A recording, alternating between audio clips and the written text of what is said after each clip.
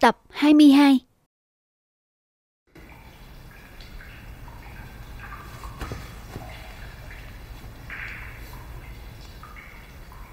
Sao lại muốn bỏ trốn? Tiểu thư Tiểu Nam biết lỗi rồi. Tiểu Nam chỉ muốn được cao chạy xa bay với A Khôn thôi. Chẳng phải chính tiểu thư cũng muốn cao chạy xa bay Với việc thiếu hiệp thuộc sân đó sao? Tiểu thư Muốn đánh muốn phạt cứ phạt ta là được. Thân là một nam nhân Ta nguyện lòng bảo vệ cho nữ nhân mà ta yêu nếu tiểu thư có thể tha cho tiểu nam, Thuộc hạ xin lấy cái chết để tạ tội. Nhưng đến giờ muội vẫn giết người bừa bãi muội không hề thay đổi. Quả nhiên là kẻ máu lạnh vô tình.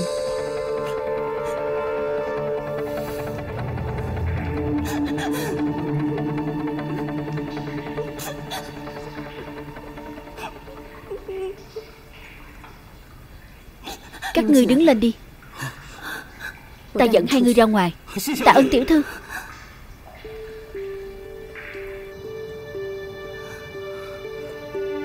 Đa tạ tiểu thư.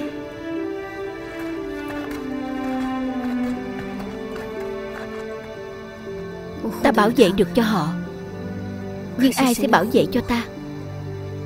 Thật ra tông chủ vẫn luôn một lòng bảo vệ cho cô, Chỉ là cô không nhìn thấy mà thôi. Theo như tính khí của thuộc hạ, Tuyệt đối không cho phép trong tông có người phản bội, bỏ trốn. Hôm nay tiểu thư làm vậy, Quả thật là làm khó cho thuộc hạ. Ông ấy hành sự độc ác như vậy. Ta thật không ngờ Người như ông ấy mà lại có được Một người trung thành đến vậy ở bên. Tiểu thư càng không thể ngờ. Tông chủ năm xưa Đã không mang tính mạng Nguyện cứu thuộc hạ vô điều kiện. Chính vì vậy Mới khiến cửu độc Một lòng một dạ tận trung với tông chủ. Nhưng mà nhưng mà ông ấy lại mang con gái của chính mình ra để lợi dụng. Tiểu thư, cô thử suy nghĩ kỹ xem. Cô gặp nguy hiểm ở thôn Tú Thủy. Tông chủ cưỡi ngựa không ngừng đi tìm cô. Cô rơi xuống vực trích tiên đàm. Ông ấy đã phái một đoàn cả người và ngựa đi tìm cô. Cô bị đệ tử thuộc sơn bao giây Tông chủ biết tin. Lập tức hạ lệnh thuộc hạ và ngũ quỷ đi tiếp ứng. Mặc dù thuộc hạ không rõ vì sao tông chủ, Lại cho tiểu thư đi thực hiện nhiệm vụ này. Nhưng thuộc hạ có thể nhìn thấy. Mặc dù tông chủ không nói ra, Nhưng trong lòng của ông ấy, Lúc nào cũng quan tâm tới sự an nguy của tiểu thư. Vậy cha ta, Bây giờ ông ấy đang ở đâu? Hôm trước, ông ấy đã một mình xuất phát tới Thục Sơn. Tông chủ không nhận tâm để những bức thư của phu nhân Thất lạc ở Thục Sơn. Tiểu thư Xin thứ lỗi cho thuộc hạ nhiều lời. Một nam nhân tưởng như ấm áp Nhưng lại đang tâm giết cô. Và một người cha có vẻ ngoài lạnh lùng Nhưng trong lòng đầy ắp tình thương. Cô chọn người nào? Tông chủ sắp trở về rồi. Tiểu thư nhớ bảo trọng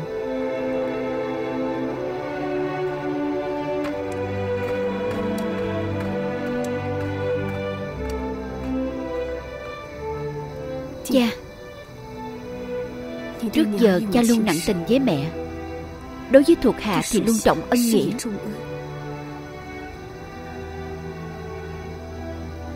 Nhưng tại sao? Duy chỉ đối với con gái. Cha lại tàn nhẫn như vậy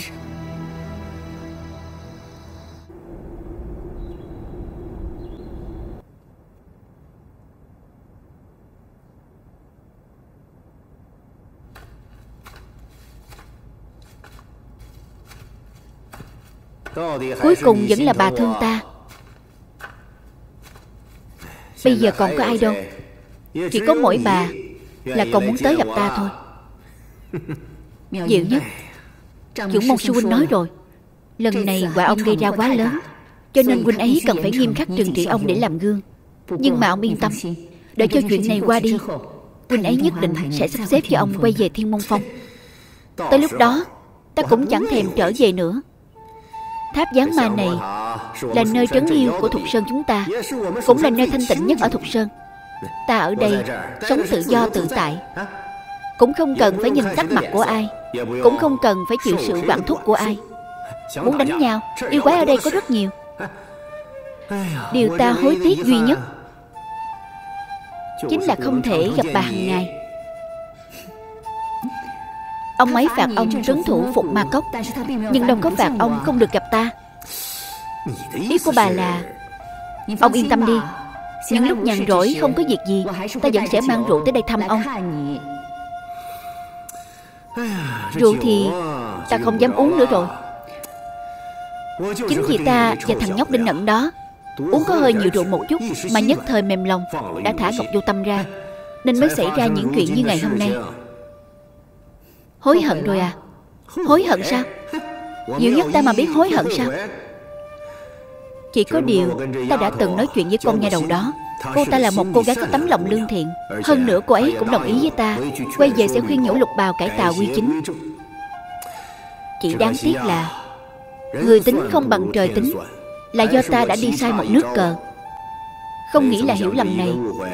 Lại khiến cho Ngọc cô nương Trở thành kẻ thù không đội trời chung của Thục Sơn chúng ta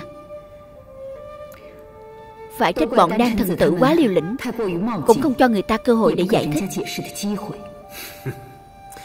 Ai mà biết được chứ? Nếu như chưa từng chung sống với nhau Ta cũng sẽ không nương tay với người của Ma Tông. Con người ấy Có đôi lúc nhìn dạng vật Chỉ có thể thấy được bề ngoài của nó mà thôi. Thế gian dạng vật Những kẻ ăn ở hai lòng lại quá nhiều. Cho dù có tận mắt nhìn thấy Cũng chưa chắc đã phải sự thật. Ông trời Đúng là rất thích trêu đùa con người. Có mấy người được dạng sự như ý chứ?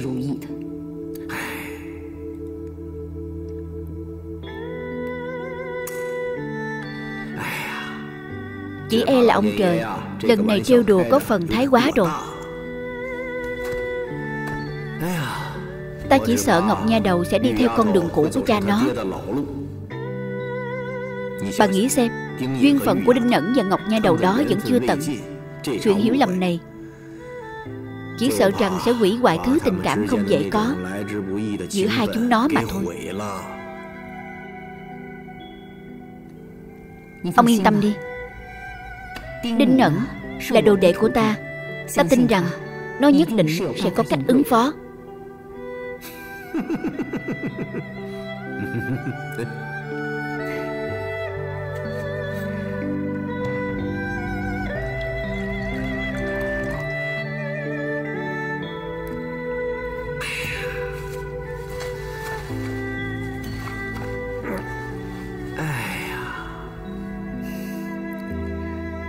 Ngọc cô nương này Lúc ở Phụng Ma Cốc này đã vô tình Phát hiện ra những bức thư tình Qua lại giữa tố nhân Và thượng quan cảnh ngã. Ta đoán chuyện này xảy ra bất ngờ, Chắc là con bé chưa kịp mang đi. Bà thay ta tới Phục Ma Cốc một chuyến đi. Gom hết những bức thư đó lại. Bà nghĩ xem, Những bức thư này Là chút kỷ niệm duy nhất còn lưu lại Mà cha mẹ để lại cho nó. Ông yên tâm đi, Ta sẽ giữ gìn cẩn thận bà. Nào.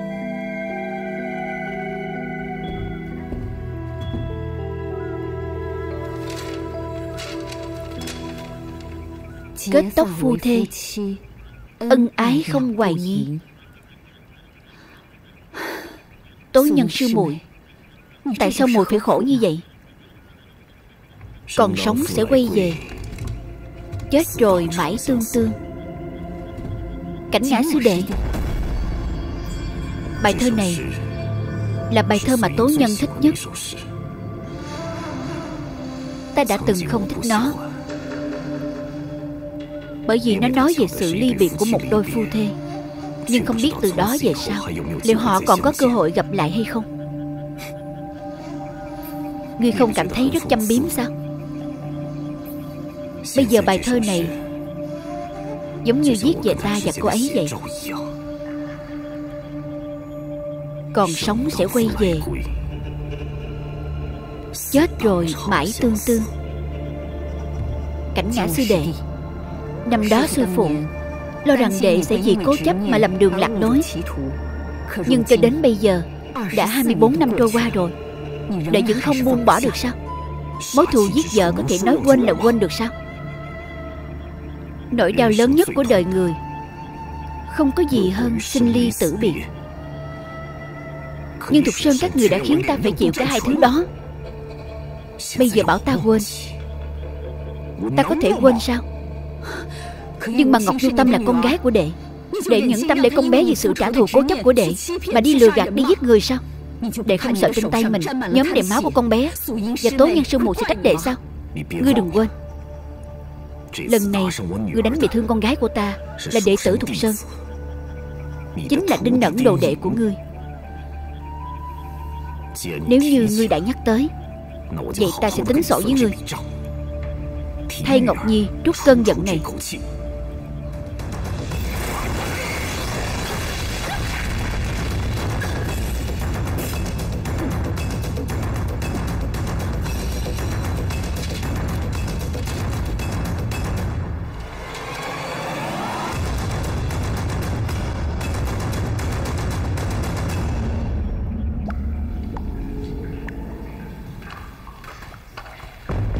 cơm thôi, ăn cơm thôi. Thả ta ra.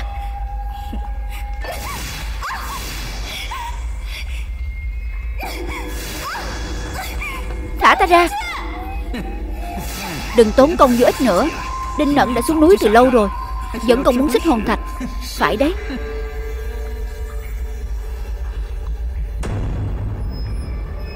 Nếu như Đinh Nận đã xuống Thục Sơn rồi, Thì chẳng còn lý do gì để chết dí ở đây nữa rồi. Mình phải nhanh chóng báo tin này ra ngoài cho cảnh ngã.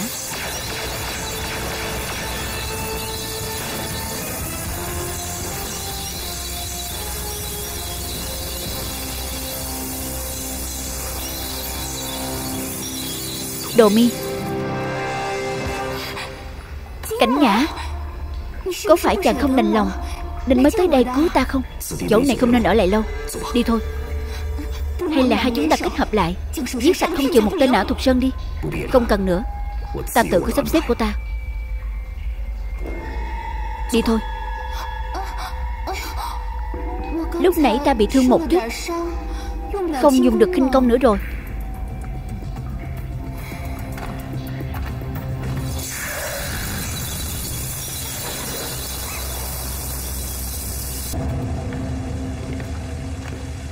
Cung nghênh tông chủ hồi cốc. Chúc mừng phó tông chủ an toàn trở về.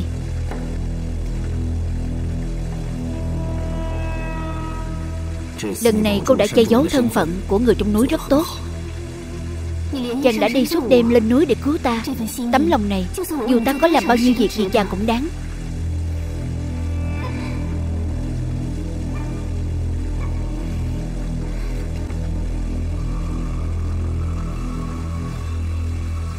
Ta biết rõ là Trong lòng chàng Ta cũng rất quan trọng. Đúng không? Chắc cô cũng mệt rồi. Cửu độc. Có thuộc hạ. Tiễn phó tông chủ về phòng đi. Dân. Cảnh ngã. Mời phó tông chủ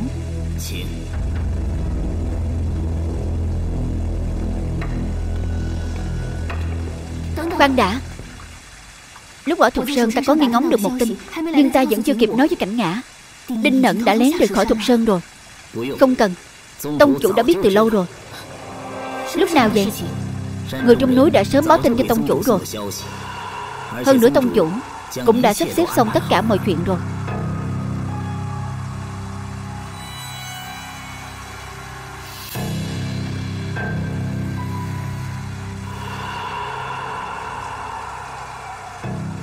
Cửu độc Người nói xem Tông chủ có thật lòng với ta không? Thứ lỗi cho thuộc hạ nhiều lời. Lần này tông chủ đi Thục Sơn. Không đơn thuần chỉ là vì đi cứu phó tông chủ. Vậy thì là vì cái gì? Tiểu thư từng nhắc với thuộc hạ Về những bức thư lúc trước của tông chủ và phu nhân Vẫn còn để ở Thục Sơn Chuyến đi này của tông chủ Chủ yếu là để lấy lại những bức thư ấy. Đừng nói nữa. Lui ra đi. Thuộc hạ cáo lui.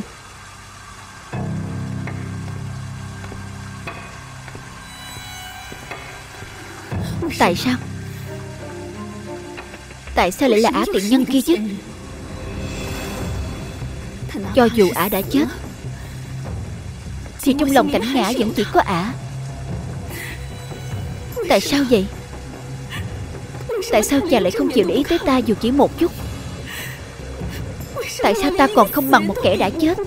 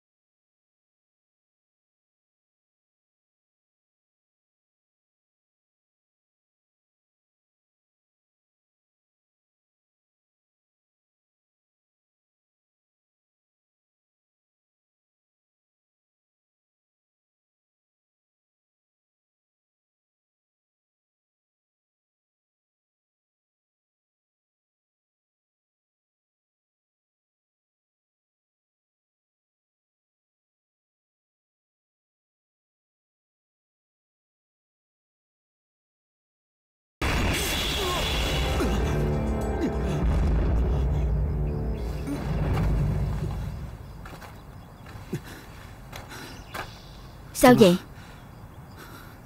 Theo như lời cha nói Thì chắc là Đinh Nẫn không sao hết.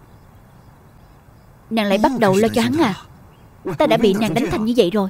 Nàng có thể quan tâm ta một chút không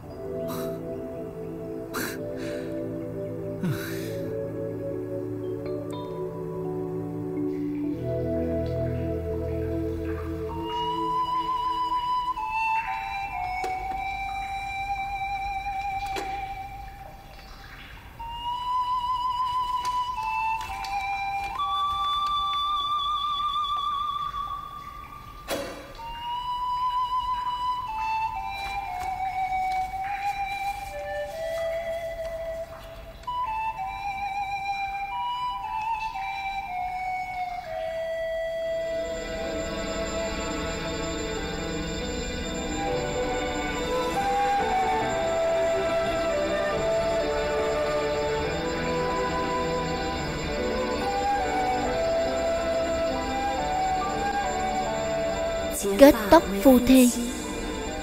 Ân ái, Không hoài nghi. Vui trọn đêm nay. Khoảng thời gian tuyệt vời. Cái lão cáo già da cát nhị ngã này Đã âm thầm thả đinh nận xuống núi.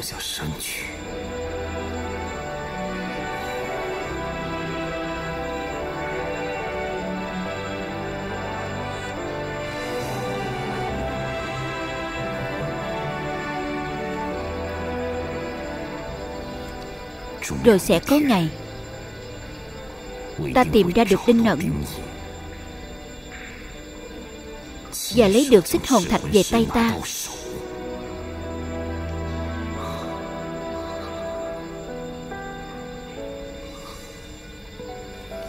Đến lúc đấy, Chúng ta đã có thể hoàn thành Việc gian dở Của 20 năm trước. Kết tóc phu thê.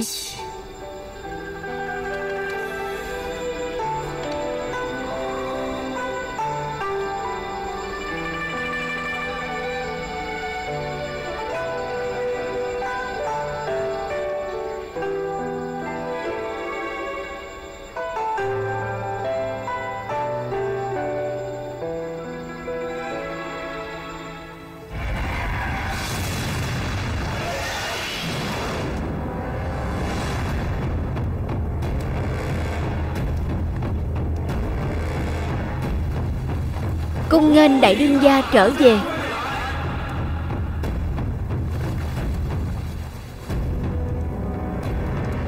Lâm thiên giật đâu? Bẩm báo đại đương gia. E là Lâm Thiên Giật đã chết rồi. Hai ngày trước đệ thử Thục Sơn xâm nhập vào sân trại, Lâm Thiên Giật đã dẫn người đuổi theo. Chỉ sợ là lành ít dữ nhiều rồi.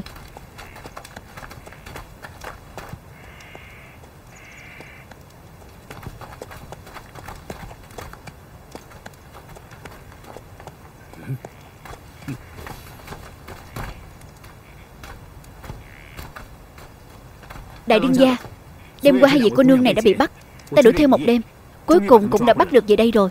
Bây giờ đã gom đủ 100 thiếu nữ, Đại đương gia có thể lập đàn làm phép Và luyện thành thần công bất cứ lúc nào rồi. Tốt lắm. Ngươi làm rất tốt.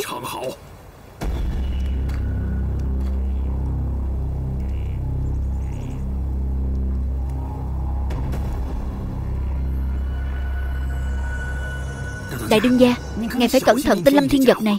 Trong hai cô nương đó, Người chủ động dụ dỗ ngài đã bị đánh tráo rồi. Người có biết người bị đánh tráo là ai không?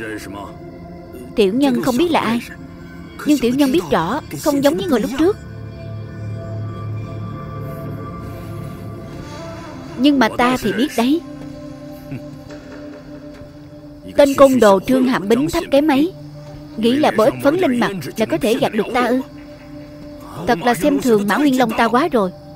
Nhưng mà đại đương gia, Nhưng mà đại đương gia, Người đi theo bọn họ tới là đệ tử Thục Sơn đấy. Đệ tử Thục Sơn à?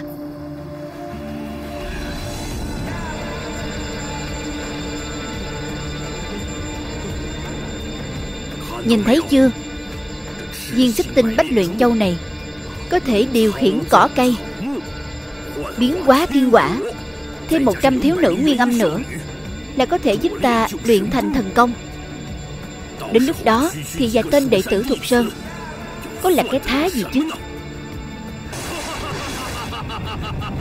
Bản lĩnh của đại đương gia thật khiến người khác sợ hãi. Chúc mừng đại đương gia.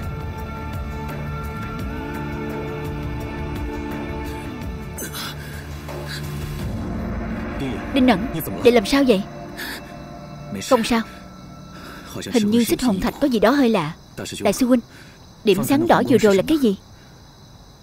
Ta cũng không rõ lắm.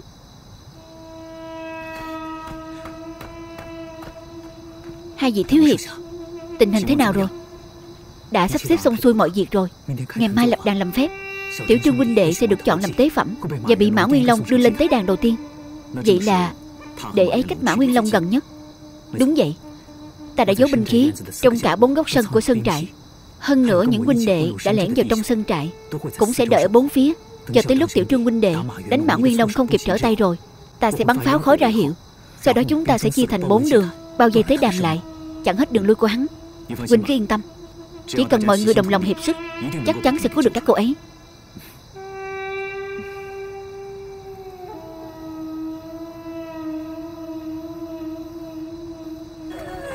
Đi nhanh lên Ta nói cô đấy, Đi nhanh lên.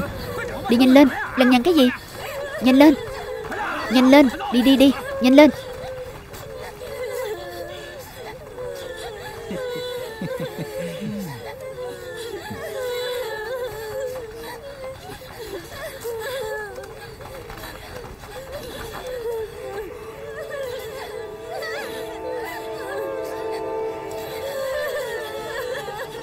Quỷ Nhi.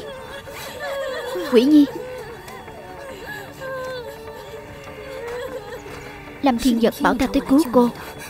Thiên Giật đại ca Đừng nhìn ta, nhìn về phía trước. Giả vờ như không nghe thấy gì hết. Chờ lát nữa lúc tới lập đàn Người của chúng ta sẽ hành động. Cô lén truyền tin này cho mọi người. Lát nữa Nhớ bình tĩnh hành động Đừng chạy loạn cũng đừng la hết Được Chúng ta chắc chắn sẽ bảo vệ các cô an toàn. Ừ. Đi truyền tin đi.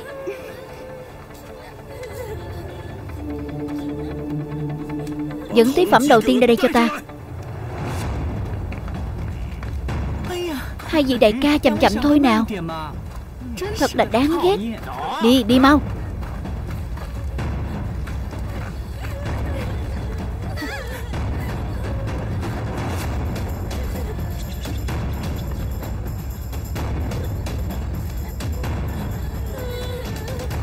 Người đâu? Mang tế phẩm đầu tiên ra của ta để thiêu sống tế trời. Bảo Nguyên Long, Không phải người muốn luyện sung tu thần công sao? Ta không có hứng thú Luyện song tu thần công với nam giới. Trương Hạm Bính.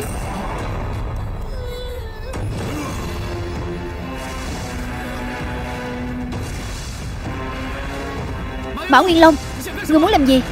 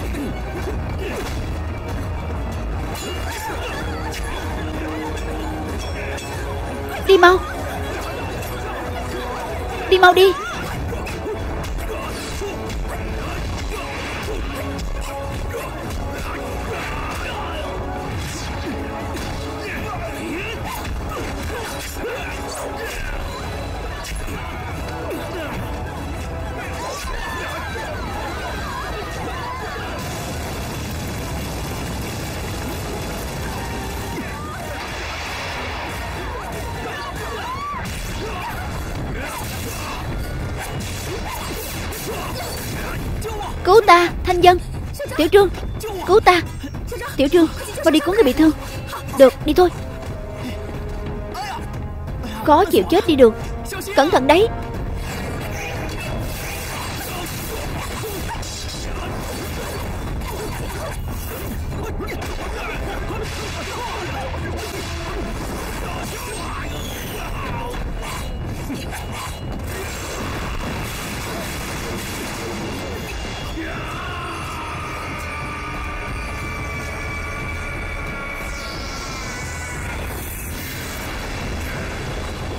Đuổi theo.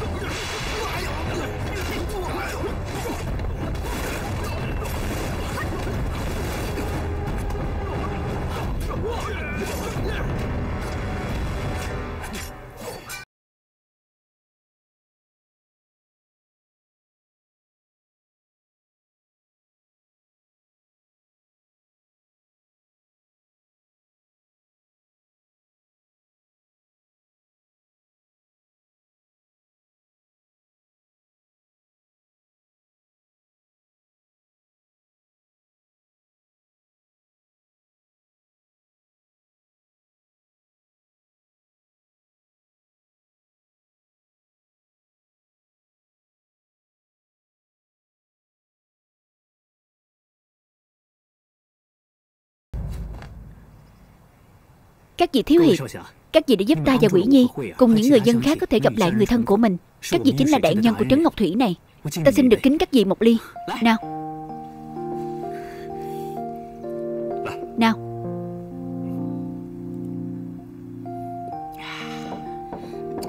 Nào ngồi đi ngồi đi Ngồi đi. Quỷ Nhi đa tạ ơn cứu mạng của các vị thiếu hiệp Nhưng ta mạo muội còn một thỉnh cầu.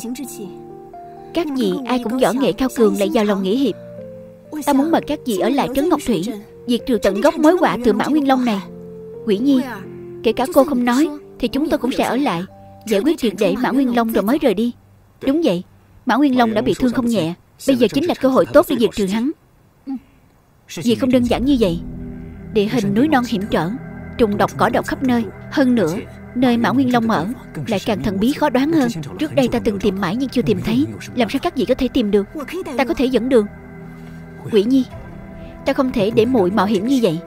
Thiên giật ca, Mã Nguyên Long chẳng khác nào con bọ cạp trăm chân, Giết mà không chết, Rồi cũng có ngày hắn còn quay lại nữa. Các vị thiếu hiệp Thục Sơn, Không thể ở lại trấn cầu thủy này mãi được. Đến khi họ đi rồi, Mã Nguyên Long quay lại phục thù sợ rằng sẽ càng nguy hiểm hơn nhiều. Đến lúc đó, Trấn Ngọc Thủy có được yên ổn nữa không? Vậy ta sẽ đưa muội cao chạy xa bay, Rời khỏi nơi này. Nhưng người thân của muội, bạn bè của huynh, Họ phải làm thế nào? Ở lại Trấn Ngọc Thủy, Cả đời phải sống trong năm nấp lo sợ. Này huynh đưa được mọi người cao chạy xa bay. Nhưng Quỷ Nhi, Ta Thiên vật Ca Nhất định phải diệt trừ Mã Nguyên Long. Thôi được. Ta đi cùng muội. Ít ra ta có thể bảo vệ muội. Lâm huynh đệ, Chúng ta đã có duyên huynh đệ, Thì bọn ta tuyệt đối không thể khoanh tay đứng nhìn. Đợi sắp xếp mọi việc ổn thỏa, Bọn ta sẽ cùng huynh lên núi.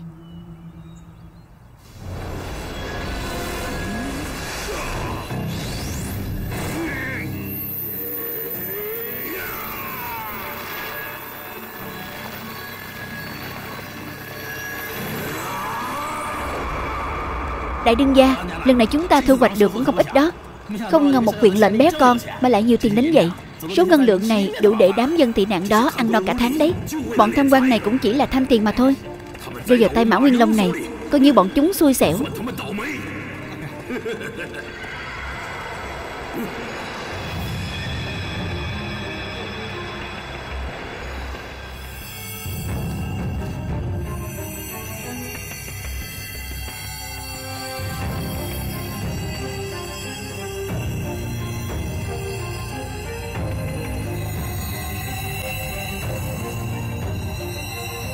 Sức tinh bách luyện. Linh châu tinh hoa của đất trời, Kẻ nào có được nó Sẽ trường sinh bất lão, Hưng thịnh muôn đời. Ai?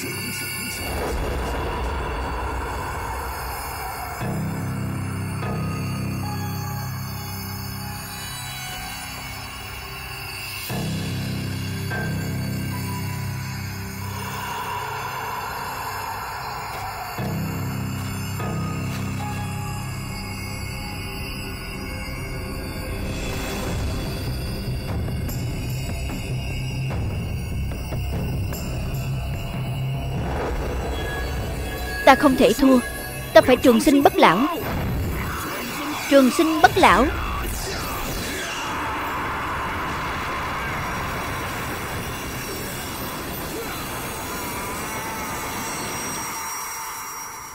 Trước đây khi bị Mã Nguyên Long bắt lên núi, Dù mùi bị bịt mắt, Nhưng trên đường đều ngửi thấy được mùi hương của các loài hoa. Từ nhỏ mùi đã đặc biệt nhạy cảm với hương hoa. Nếu có thể cho mùi đi đường núi lại một lần nữa, Nhất định mùi có thể tìm được hang ổ của hắn. Không ngờ quỷ nhi cô nương lại có bản lĩnh đến vậy. Không hề thua kém gì so với sư phụ của ta. Quỷ nhi xuất thân trong gia đình chế tạo hương liệu, Từ nhỏ đã quen ngửi hương hoa rồi, Nên mới rõ với lòng bàn tay, Ta ngửi thấy chút hương địa mai. Chắc là ở phía bên kia.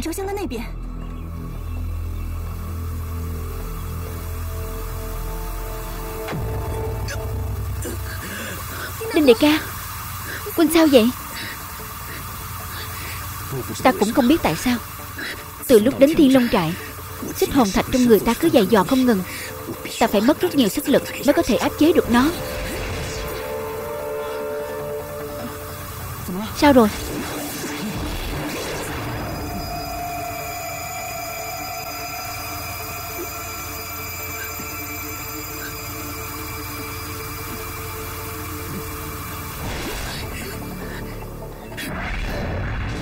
Thế nào? Đỡ hơn chưa? Cảm tạ đại sư huynh. Xin lỗi. Đã khiến mọi người lo lắng. Tiểu Bảo sao vậy? Tiểu Bảo cảm nhận được ma khí.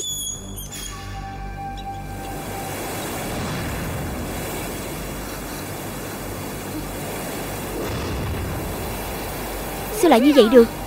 Di Linh Châu hôm qua của Mã Nguyên Long sử dụng. Sẽ khống chế năng lượng của sắt đá, cây cối và lửa. Nếu còn để hắn tiếp tục hoành hành Sợ rằng mọi thứ trên núi Đều sẽ biến thành vũ khí của hắn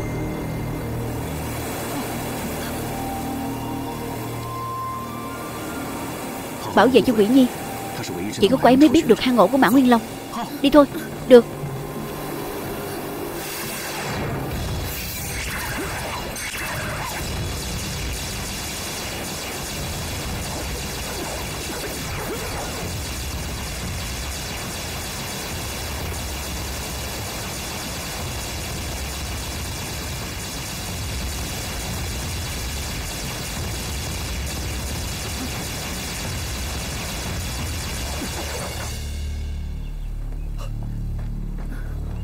Đại sư huynh, Bảo vệ quỷ nhi, Tiếp tục dẫn đường. Được.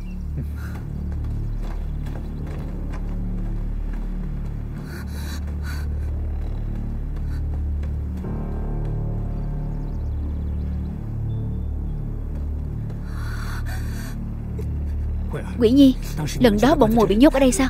Chính là nơi này.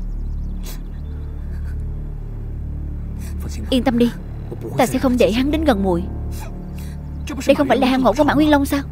Nhưng hắn ở đâu? Hắn Hắn có thể dùng Linh Châu hoành hành.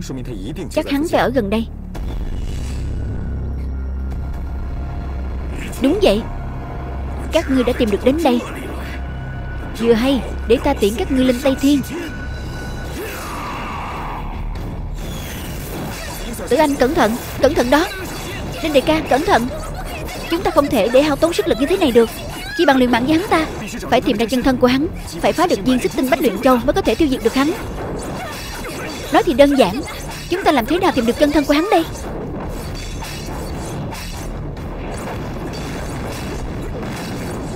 Ta đã đưa Linh Châu nhập vào thân thể của ta từ lâu rồi.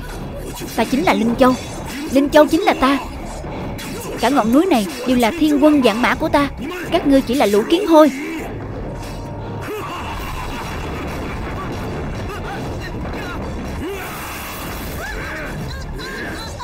Các ngươi đều phải chết. Ả tiện nhân như ngươi là biết được ta ở đâu sao? Các ngươi đều phải chết. Đại sư huynh, Tử Anh, Thả Tiểu Bảo ra. Được. Tiểu Bảo, Trông chờ dòng ngươi đó. Đi đi.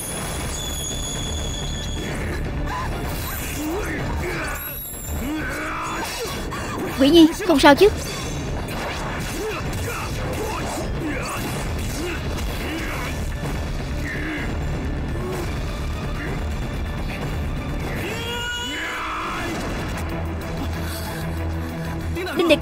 Đại ca.